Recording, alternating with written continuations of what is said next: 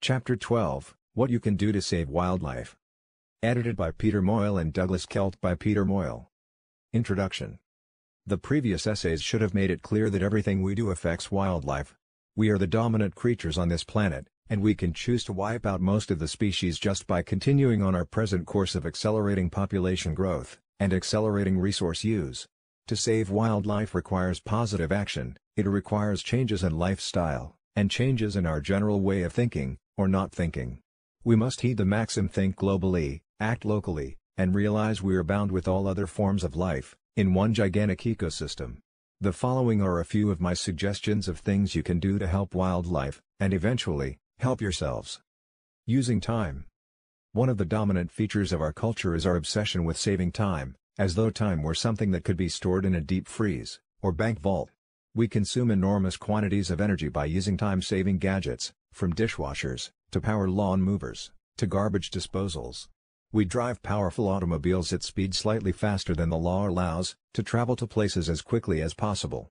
We eat foods in which there is more energy tied up in the packaging, than there is in the food itself. All too often the time saved, is used for trivial amusement, to watch a TV program, or play an extra inning of baseball. As individuals, we need to consider the environmental cost of all this collective time saving, and act accordingly. Plan long trips, for more leisurely driving. Be willing to take the extra time needed, to use public transportation, or carpools. Make chores into social activities. Take the few extra minutes needed, to mow your lawn with a hand mower, and the good, quiet exercise it provides. I am not suggesting a return to living styles of 200 years ago just some minor adjustments to our present lifestyles, that might reduce such things as air pollution, which is causing atmospheric warming, the demand for dams that destroy streams, and the amount of habitat covered up by garbage. Living with blemishes. Neatness is the enemy of wildlife. Much traditional landscaping, for example, is open, and neatly trimmed, with little room for birds, and other animals, and it often requires heavy use of fertilizers, and pesticides. Let the weeds and bushes, grow. Plant native trees. Our demand for unblemished fruit, and ketchup without insect parts, forces the heavy use of pesticides, and forces farmers to go to great lengths to control birds, and other pests. Blemished, or slightly wormy, fruit is still edible. My father had the habit of never eating an apple, without taking out his pocket knife, and cutting it up. This habit was ingrained from being brought up on a farm in the days before the heavy use of pesticides. Adopting simple habits like this, can help to save wildlife, and maybe your own health. A particularly egregious example, of the neatness problem, is lawns. Somehow, it is correct in our culture to strive towards a perfect lawn, that looks more like an outdoor carpet than something alive. The perfect lawn requires heavy doses of pesticides, herbicides, and fertilizers, to keep the monoculture of grass going, akin to a field of subsidized corn. Then, when the grass is ready to be harvested, we cut it with a noisy gas-guzzling mower, and throw the harvest away, often neatly wrapped in a plastic bag, clogging our landfills.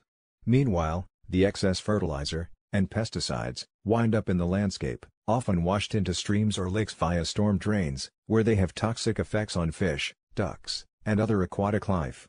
Part of the solution is to think of your lawn as an ecosystem, and strive for diversity, appreciate the variety of flowers and grasses that push their way through the dominant grass, enjoy the insects that crawl in it, or fly over it. Despite the warnings of the lawn care industry, it is possible to have a patch of green to sit and play on, without dosing it with nasty substances. Another part of the solution is to reduce lawn area as much as possible, replacing the grass with low-demand ornamentals or a vegetable garden. Reduce, reuse, recycle. Reduce, reuse, and recycle is a slogan that goes well with Think Globally, Act Locally. I apologize for presenting these overused slogans, but they do have a great element of truth to them. All three general activities can make your personal contribution to environmental degradation much less. Reduce the amount of materials and energy you consume by buying fewer prepackaged goods, driving in an efficient manner, slower, no jackrabbit starts, etc., sharing magazines and books, minimizing the use of heating and air conditioning, etc. Reuse items as much as you can. Many disposable items are reusable, especially containers. For example, if you make pomegranate wine, as I used to do, you can use old wine bottles year after year, this wine is drunk young. It is also possible to reuse corks, if they are removed from a bottle with an Ah-So cork remover.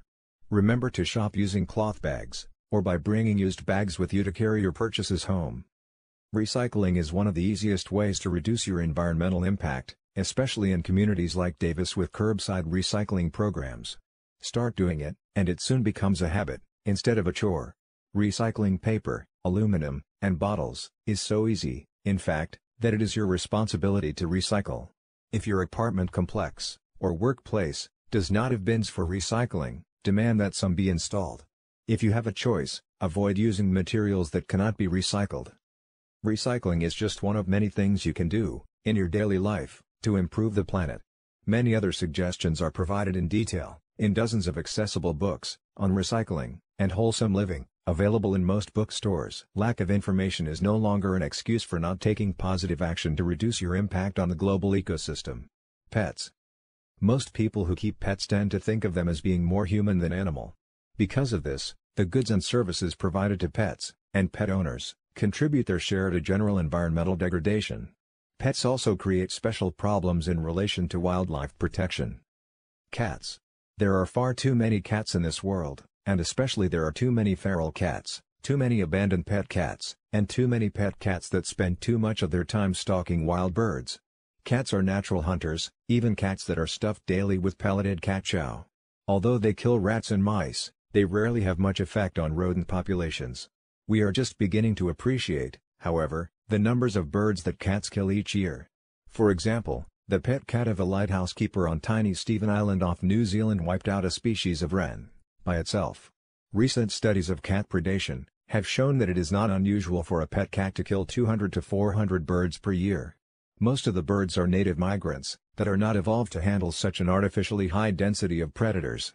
Such migrants are already in trouble due to destruction of nesting habitats, and wintering habitats, so the cats are an added cause of their decline. Imagine what it must be like for an inexperienced juvenile white-crowned sparrow, reared in the mountains, which follows its parents to spend the winter in the gardens of Davis. Suddenly it is trying to survive in an area with an extraordinarily high density of predators, mostly well-fed cats with nothing else to do but stalk inexperienced birds. Loose cats are probably already the reason we do not have California quail, and very few fence lizards in Davis anymore. We will be even poorer without the cheerful whistling of winter sparrows. The unfortunate high regard in which we hold cats was demonstrated in Davis, in 2004. A couple of coyotes started foraging in a city greenbelt park, and one of their favorite prey became cats that had been let out to play with the birds. Not surprisingly, the city quickly dispatched the errant coyotes. If they had been left alone, they would have greatly reduced cat densities in the park, and eventually there likely would have been an increase in nesting, and migratory birds as well as lizards, and quail. This effect has been demonstrated in Southern California, where wild arroyos between housing tracts that have coyotes doing cat control, have much more diverse faunas than those without coyotes. It is interesting to speculate how much more diverse our local parks might be, if we either encouraged coyotes, or required cat owners to keep their cats indoors. However, we have chosen cats over quail, and lizards. Too bad cat owners have such power. If you are too fond of your cat to euthanize it immediately, what should you do? Keep it indoors, especially during fall and spring, when migratory birds are most abundant. This is not as cruel you may think, because cats spend so much time sleeping anyway. However, you will have to find ways to keep the animal amused, and probably sacrifice some furniture, and freedom, from animal odors. Saving the environment involves many small sacrifices. Cats kept indoors from the time they are small kittens, are typically well adjusted to their habitat. When you want to adopt a cat, obtain a kitten from someone who has an indoor cat, because hunting skills are learned in part from the mother. Keep the kitten indoors as much as possible for the first year, and thereafter. Have your cat spayed or neutered. If you leave an area, and cannot take your cat with you, do not just turn it loose but find someone to adopt it, or else have it euthanized. Do not feed abandoned cats unless you plan to adopt them. The best thing to do is to capture them, and turn them over to an animal shelter, otherwise you will be helping to increase the density of healthy predators on birds. The feeding of cats in public parks, and on the Davis campus, is particularly harmful. Box 12.1 There is growing recognition that cats are a problem for wildlife but that solutions are possible. The American Bird Conservancy has launched a citizen education and action campaign to end the massive and unnecessary loss of birds and other wildlife to predation by domestic cats. Scientists estimate that free-roaming cats, owned, stray, and feral, kill hundreds of millions of birds, and possibly more than a billion small mammals, in the U.S. each year. Cats kill not only birds that frequent our backyards, such as the eastern towhee, American goldfinch, and song sparrow, but also watch list species such as the snowy plover, wood thrush, and black-throated blue warbler, and endangered species such as the least tern, and piping plover. Not only are birds and other wildlife at risk, but cats who roam free often lead short and painful lives, living on average less than 5 years, whereas indoor cats often live to 17 or more years of age. The American Bird Conservancy has prepared informative educational materials on the impact of cats on birds, including documentation on cat predation, health hazards, and other dangers associated with free-roaming cats, legislative solutions, and practical advice on how to convert an outdoor cat into a contented indoor pet. These materials were prepared with the assistance of a technical advisory committee, with representatives from the animal welfare, conservation, including National Audubon Society, veterinary, and scientific communities. Cats indoors. American Bird Conservancy If you choose not to be consciously involved in the conservation of forms of life other than your own, you should at least be aware that by doing nothing you are still having an impact on the biota of this planet. The water you drink, the food you eat, the land you live on, and the air you pollute, were all obtained at the expense of other creatures. The decisions we make today, on how we are going to share these resources, will determine which other species will inhabit Earth for the indefinite future. From the foreword to this series of essays. Dogs. Dogs, like cats, are predators, although they are much more domesticated. However, if you live out in the country and let your dog run loose at night, you are probably contributing to the loss of wildlife, especially deer, which can be chased to exhaustion or into the path of a car. Often coyotes are blamed for killing livestock actually killed by loose dogs. An equally serious, but less appreciated, problem, is the effect dogs have on wildlife when let off their leashes to explore a wild area. Anyone who has kept a dog, and let them do this, knows how much most dogs enjoy plunging through the underbrush, poking their noses into holes, flushing birds, and chasing rabbits and squirrels. What is harmless fun for your dog, may be deadly for the wildlife it disturbs making the animals more vulnerable to real predators, disturbing nesting, or care of young, or reducing their ability to forage effectively. Wild areas that are heavily frequented by people with dogs may consequently contain less wildlife.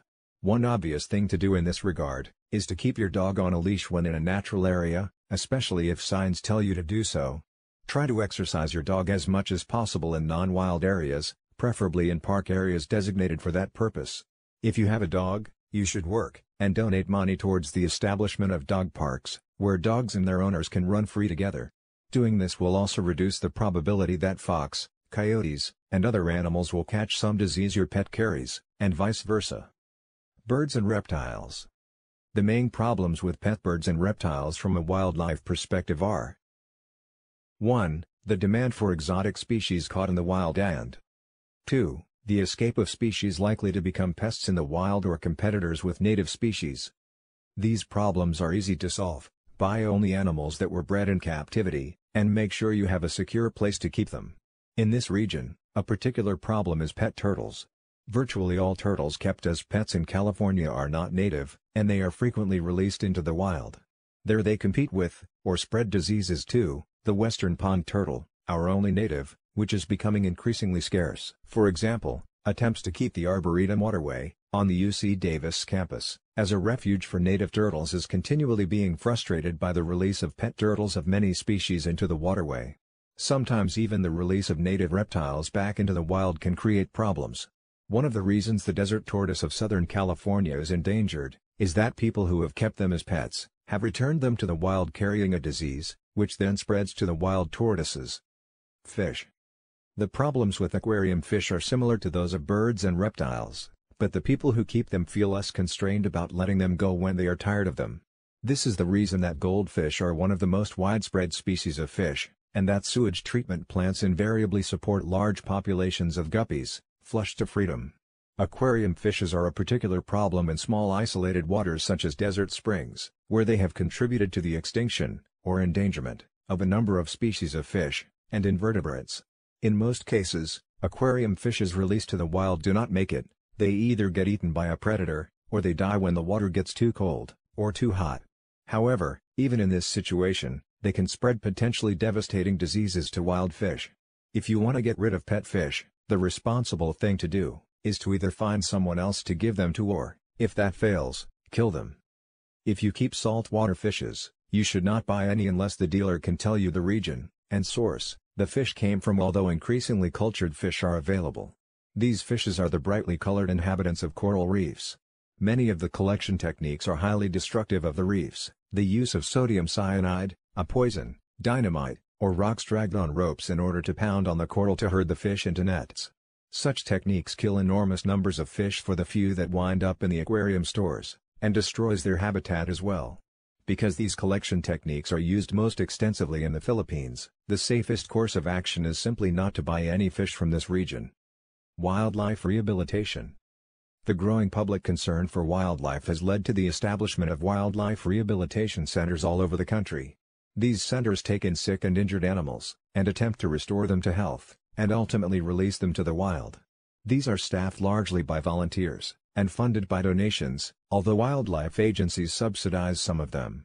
Increasingly, such centers are supported by conscience money from companies responsible for oil spills. Such centers are always looking for volunteers to tend the animals, and to help with their education efforts, which typically involve taking live animals to schools, and talking about them. The animals used in such demonstrations are usually those that are healthy, but cannot be returned to the wild, for example, a hawk with a missing wing. Rehabilitation centers are most valuable in the following situations. Rehabilitating endangered species, where each individual can still make a difference to saving the species. Educating the public about wildlife problems with a live animal as the bait to draw people in to hear a message providing an outlet for people who want to do something about the carnage caused by an oil spill, or other environmental disaster. A center full of people caring for injured wildlife can also be a visible symbol of a disaster, and help arouse sympathy for stronger environmental protection. Wildlife rehabilitation centers, however, rarely do much for wildlife populations. A majority of the species they treat are common birds, such as red-tailed hawks, barn owls, and mallard ducks, and the evidence that animals rehabilitated and released into the wild survive long enough to reproduce is limited. Recently, Daniel Anderson at UCD, released results of a long-term study of the survival of brown pelicans that had been gooed up during oil spills, cleaned up, and then released. He found that survival and reproduction was low. For more on this theme, CSA, Humanity Without Biology by Peter Steinhart, Audubon, May 1990, p. 24-27. On the Davis campus, the main rehabilitation center is the Raptor Center, Department of Avian Sciences, in which many of the birds are used for education, and some for research. Off-road vehicles Off-road vehicles, ORVs, have become enormously popular in recent years, and are a tribute to human mechanical ingenuity, and to the abundance of leisure time available to Americans. They include buggies, snowmobiles, and, most recently, mountain bicycles. The use of off-road vehicles, especially on public lands, has been expanding exponentially, thanks in good part to campaigns by the vehicle manufacturers. The agencies managing public lands have by and large, been unable to cope with the invasion of ORVs, often because they lack the person power to regulate ORV use, or assess the damage they cause. And ORVs do cause damage which affects the landscape, and reduces wildlife populations. The most obvious effect of ORVs is on steep hillsides, where a single motorcycle track can be the start of a gully, and heavy use can begin the process of turning a mountain into a molehill. The erosion not only eliminates the hillside plants upon which wildlife depend, but causes sediments to fill in streams, thereby reducing aquatic life, including fish. Deserts are particularly vulnerable to harm from ORVs because of their accessibility, and fragile biotic communities.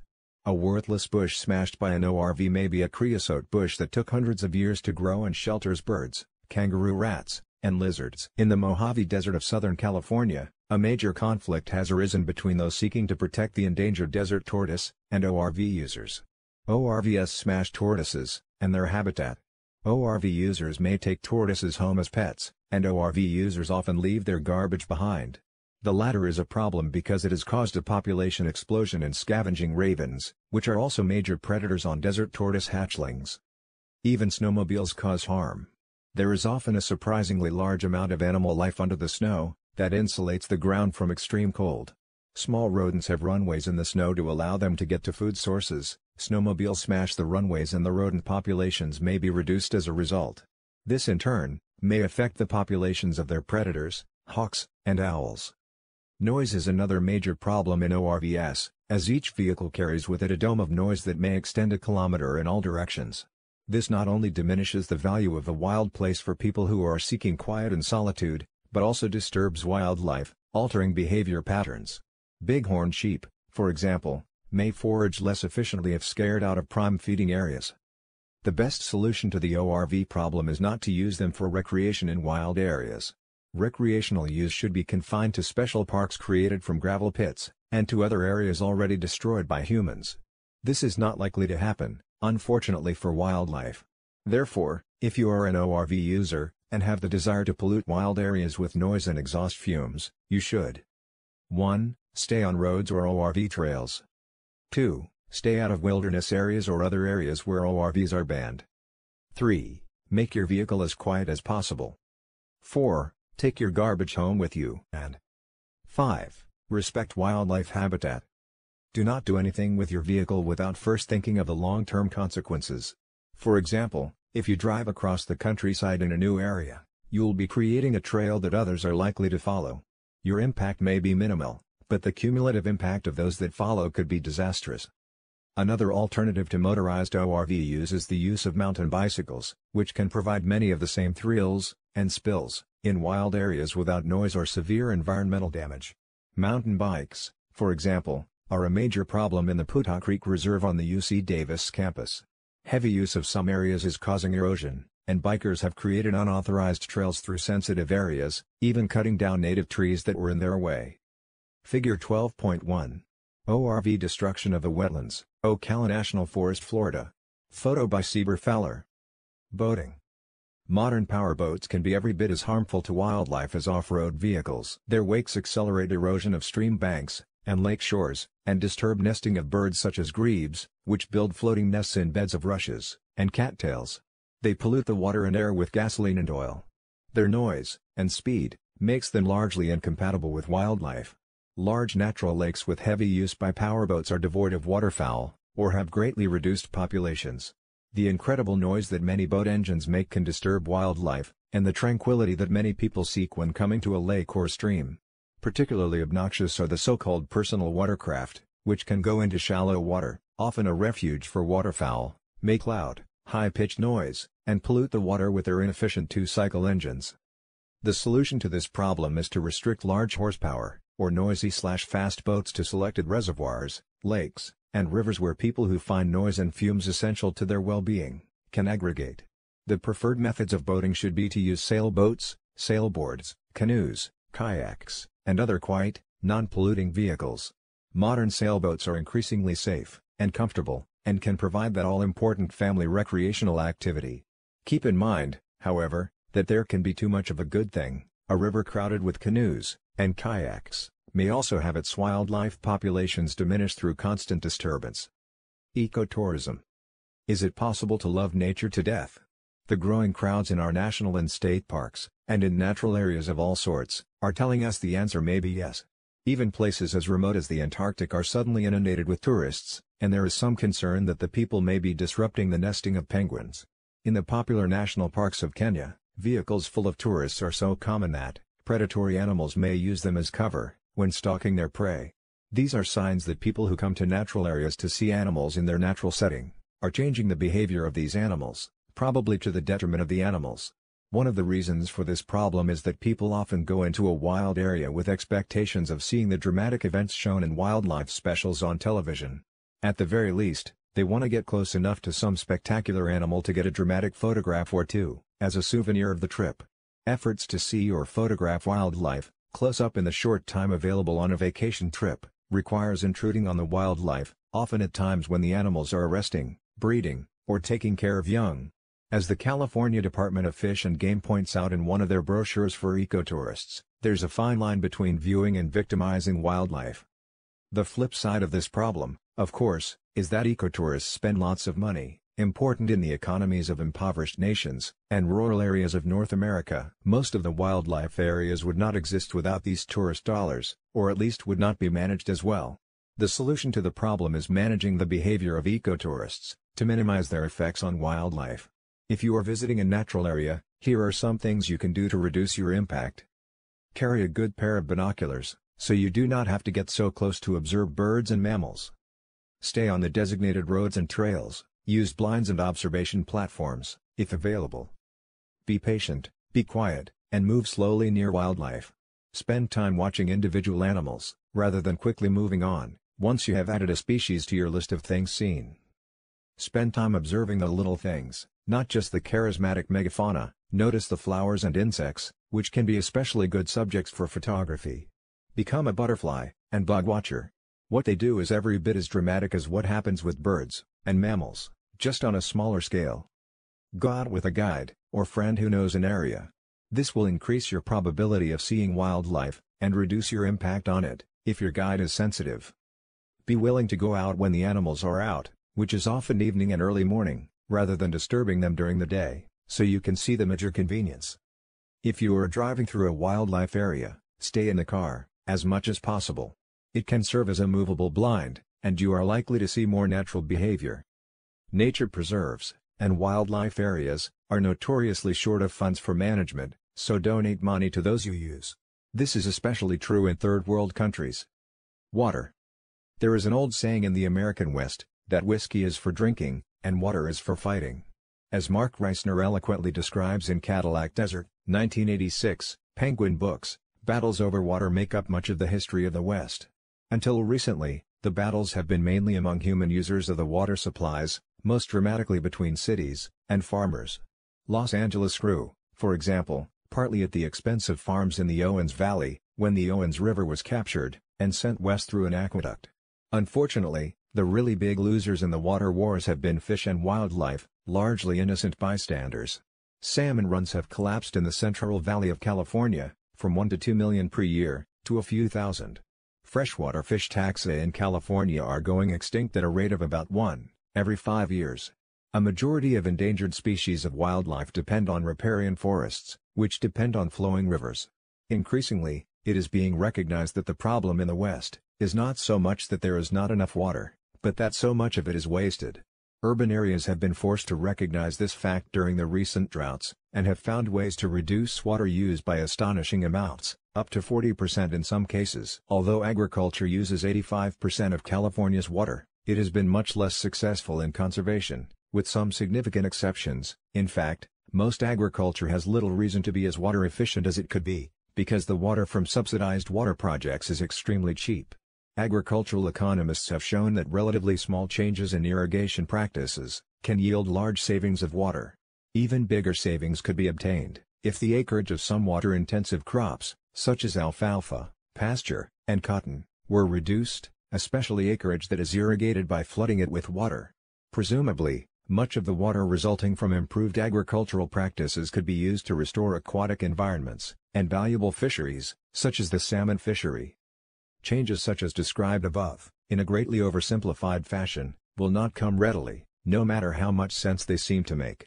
The reason, of course, that water reform could cost some entrenched interests a great deal of money, and could force changes in traditional ways of doing business. The only way such change is going to take place, is through the political process. Quite simply, this means that if you want to change things, or not change things, it is important to be involved in politics through voting, support of lobbying groups, or other means. It means that you need to be aware of how your political representatives stand on water issues, because if you understand that, chances are good you will understand how he or she looks at other social and environmental issues as well.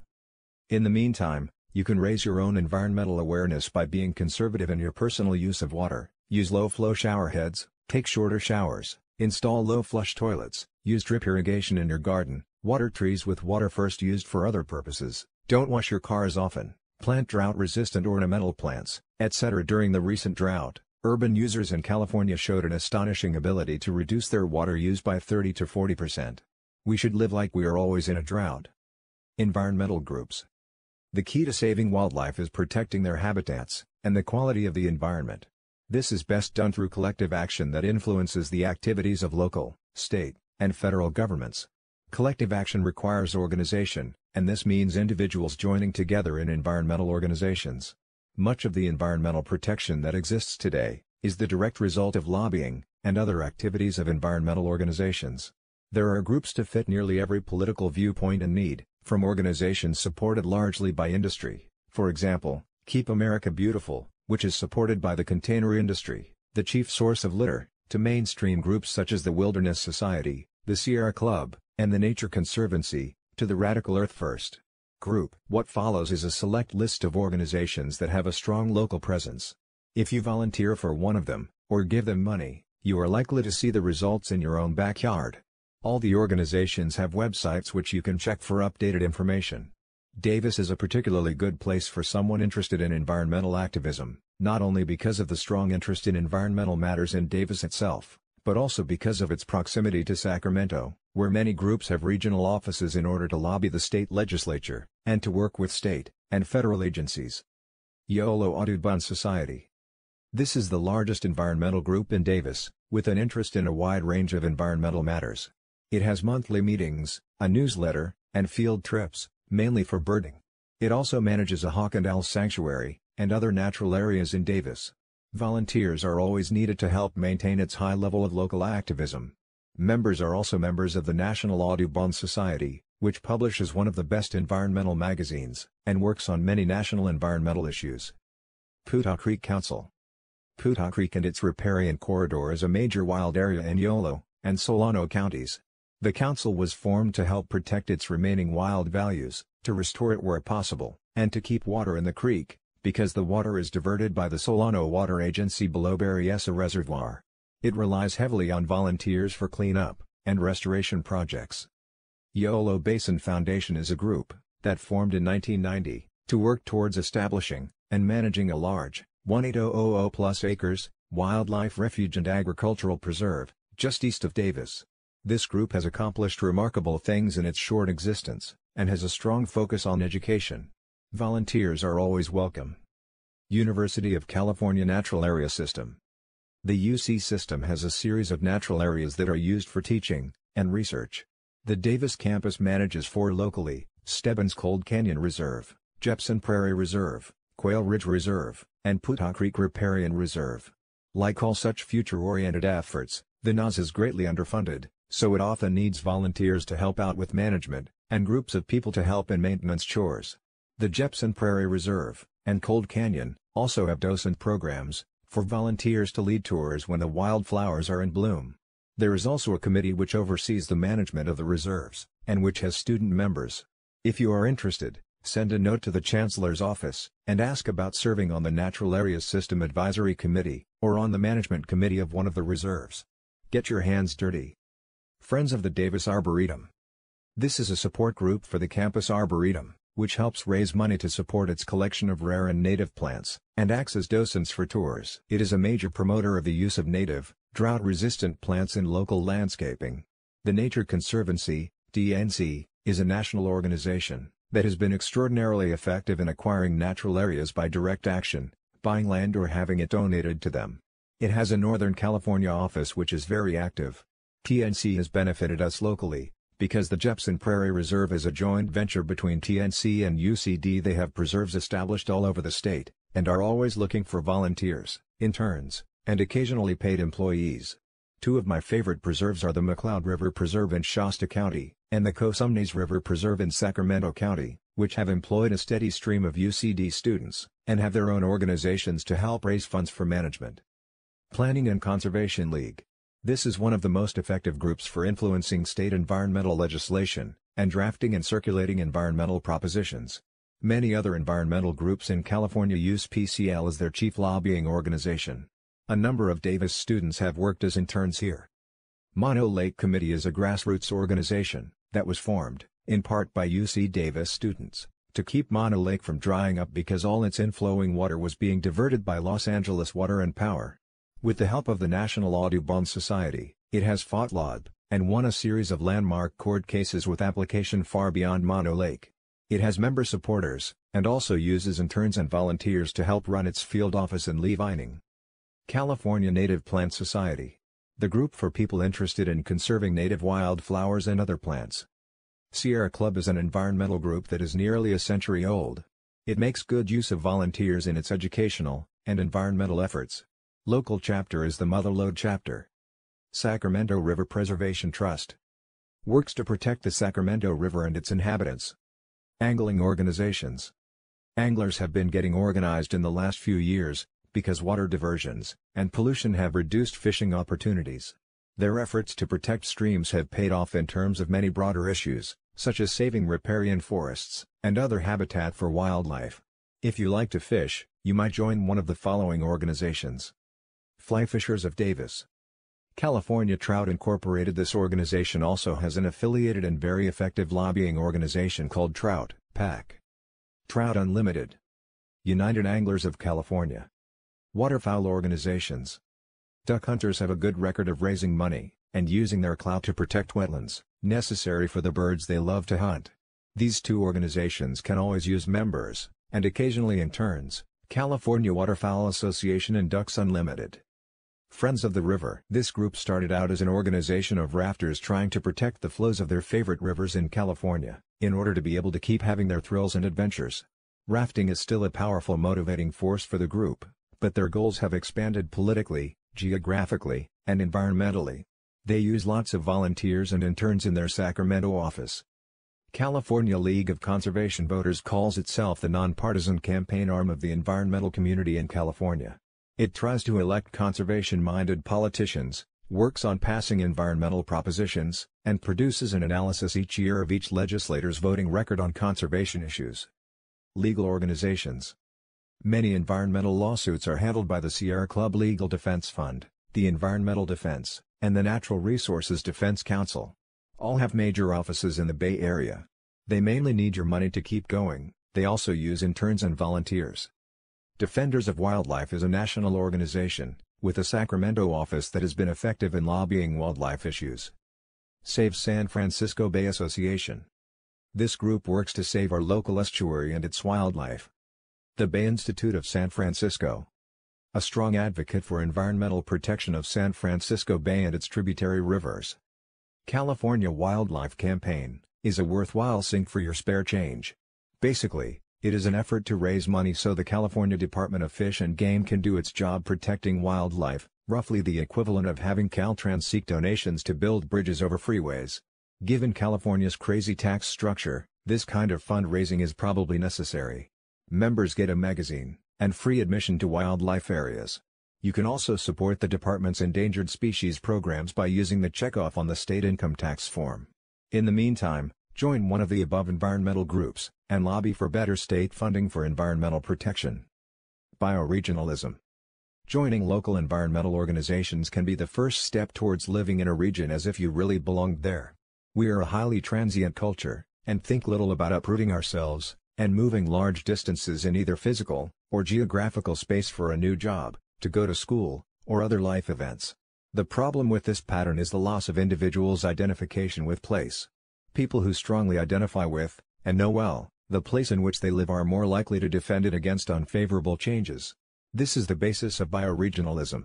This has been defined by our local bioregional guru, Robert Thayer, as the widespread occurrence of grassroots on-the-ground action toward the resolution of environmental, and social issues, by voluntary nonprofit groups that identify strongly with naturally bounded regions, and local communities.